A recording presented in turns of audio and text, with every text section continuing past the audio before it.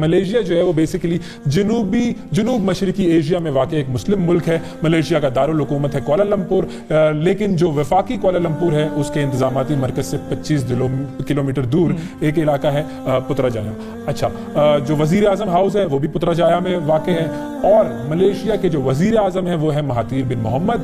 اور doctor Mahathir جو ہیں، وہ آپ کو پتا ہے کہ سب سے معمر ترین وزیر اعظم ہیں اس وقت دنیا کے۔ ملیشیا میں اسلام کی تبلیغ شروع ہوئی تھی سات ساتویں صدی میں اور انفرادی طور پر جو عرب تاجر وہاں پر آتے تھے کاروبار کے لیے انہوں نے تبلیغ کا آغاز کیا تھا اس علاقے میں اور پھر یہ تبلیغ بڑھتی گئی۔ بارہویں صدی میں ہندوستانی اور چینی مسلمانوں نے یہاں پر اسلام پھیلایا اور چودہویں اور پندرہویں صدی تک اسلام کی جڑیں یہاں پر مکمل طور پر مضبوط ہو گئی تھی یہ جو ہے وہاں پر اسلام لانے کا سلسلہ ہے جو کہ اس وقت شروع ہوا تھا۔ اچھا اب آج کل جو نظام ہے وہ کس قسم کا ہے؟ وہ کچھ نہ کچھ برطانیہ سے ملتا جلتا ہے تھوڑا بالکل وہاں پر یہ لوگ جو ہے وہ برطانیہ سے ذرا انسپائرڈ ہیں۔ ہاں۔ میں آپ کو بتاتا ہوں کہ وہاں کا حکومت بھی تو کی ہے برطانیہ نے حکومت کی ہے بالکل اور شاید وہیں سے اس وجہ سے وہ ابھی تک اس طرح کا نظام چل رہا ہے کیونکہ وہاں پر بادشاہ بھی ہوتا ہے اور وزیر اعظم بھی ہوتا ہے۔ اور بادشاہ تو ان کے ریسنٹلی جنوری میں تبدیل ہوئے تھے۔ ہاں۔ جو پچھلے بادشاہ تھے انہوں نے چھوڑ دیا تھا بادشاہت۔ انہوں نے کہا کہ بھائی میں نہیں کروں گا۔ اور پھر اس کے بعد انہوں نے کہیں شادی وادی کر لی تھی۔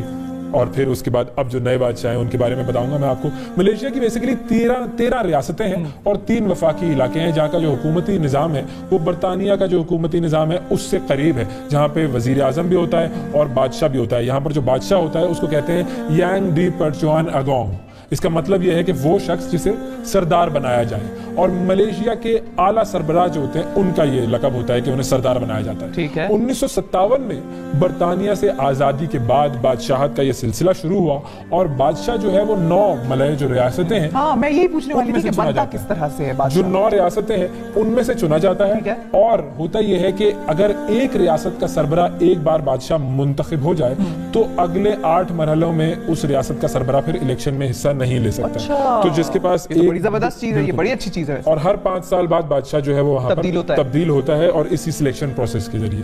تو ملیشیا کا جو بادشاہ ہے وہ ملیشیا کا جو نیشنل پیلس ہے کوالالمپور میں وہاں پر وہ رہتا ہے۔ اور ظاہر ہے بادشاہ ہے کس طریقے سے رہتا ہوگا۔